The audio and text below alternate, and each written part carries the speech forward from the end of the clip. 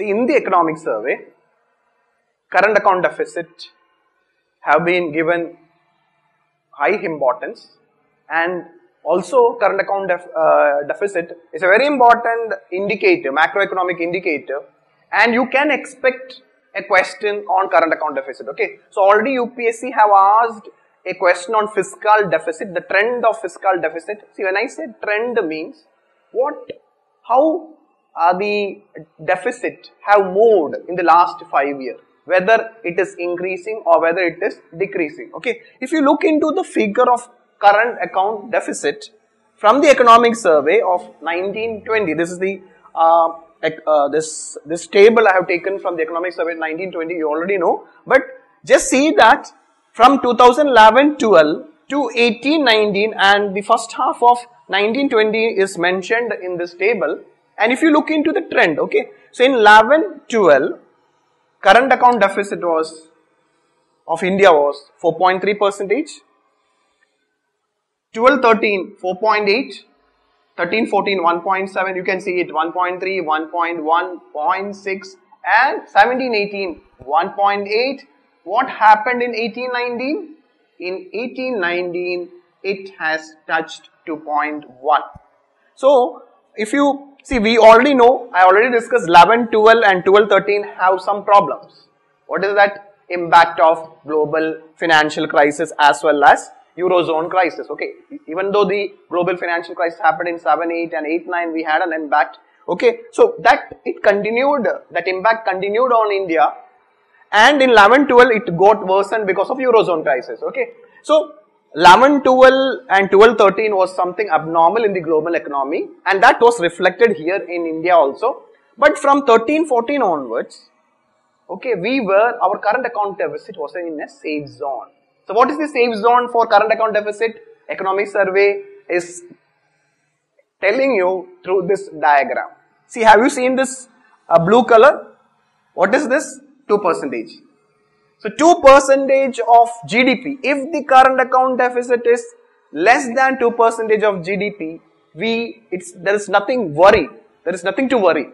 But if the current account deficit is above 2 percentage, we can say that, okay, current account deficit below 2 percentage or up to 2 percentage is safe for India but about 2 percentage it is showing that okay we need to be a bit careful okay so here what happened in 1819 1819 current account deficit crossed the 2 percentage safe zone.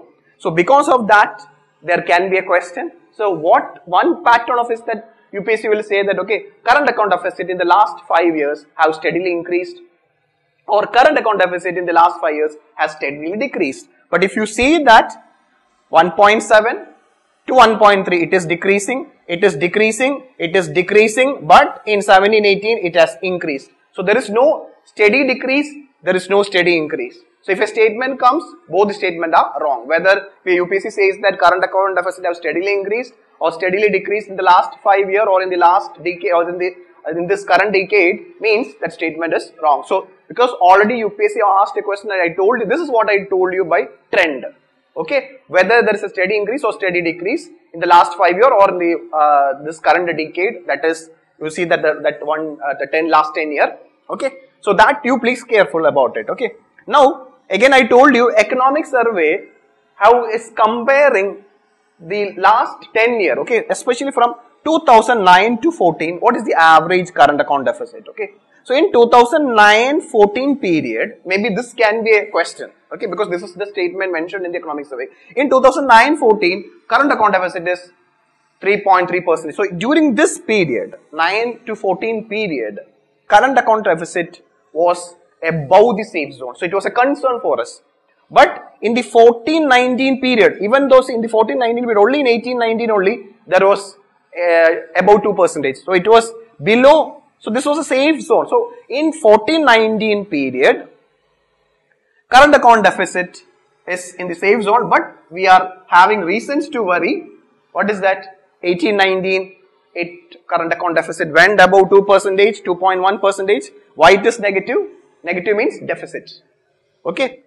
And uh, uh, in the first half, there are some relief for us because in the first half, uh, uh, of 1920 says that current account deficit has come down again. So 1920 current account deficit is showing a it's said okay there is nothing to worry. And that is mainly because we have reasons to worry. But this is because of our reduction in the trade deficit. Because of the slowdown in the economy we are our import has come down. Even though our export have not improved.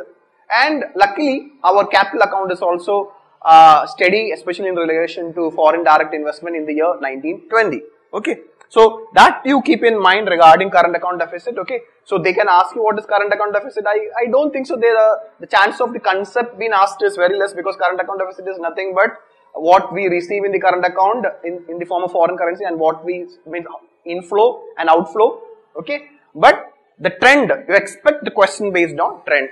That is what happened in relation to current account deficit, okay. Now, economic survey also is mentioning about this statement, okay what economic survey says that for the current account deficit, whenever the economy is having current account deficit means from the current account of balance of payment, there is outflow because it is deficit.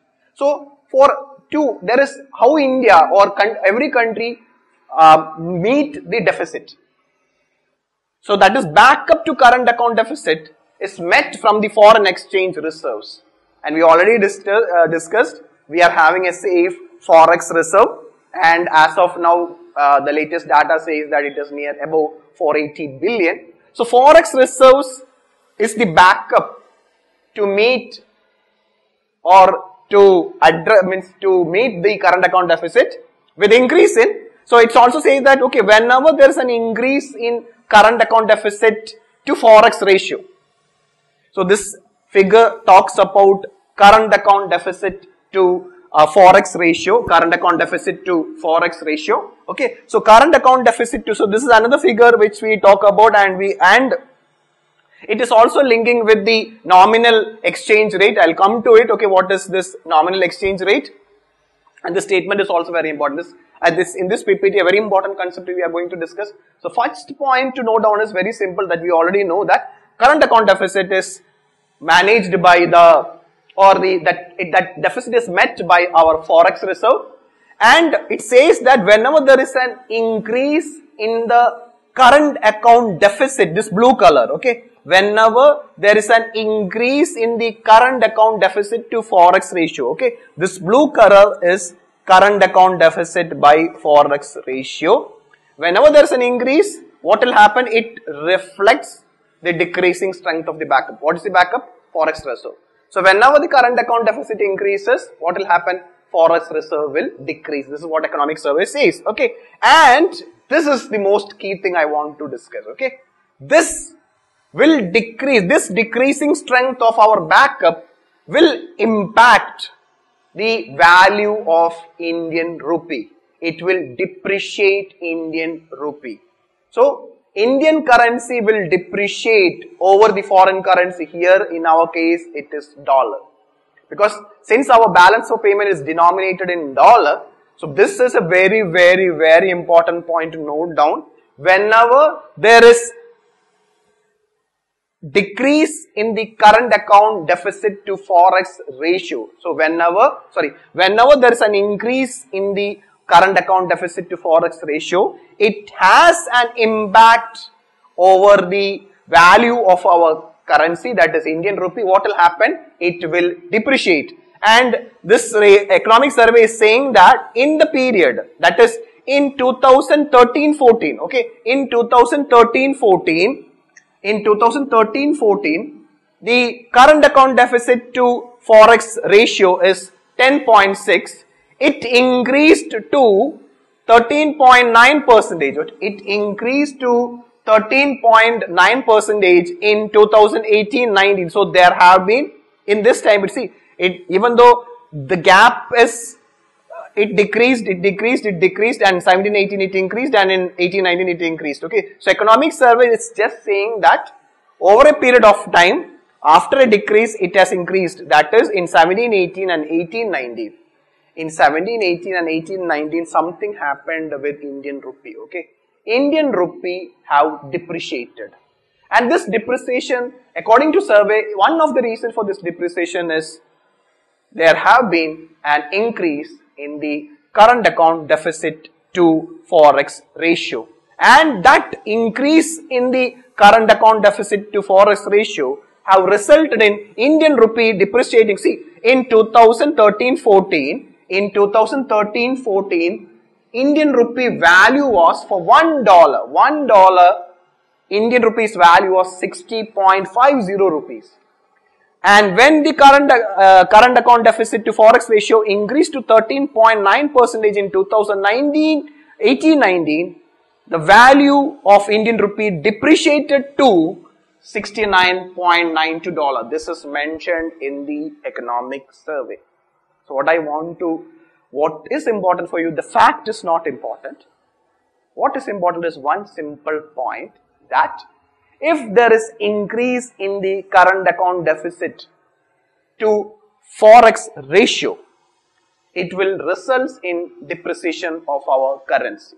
Okay. And that has happened in the period of 1718 and 1890. So this one point you please note down. So UPSC can trick you. How UPSC will trap you?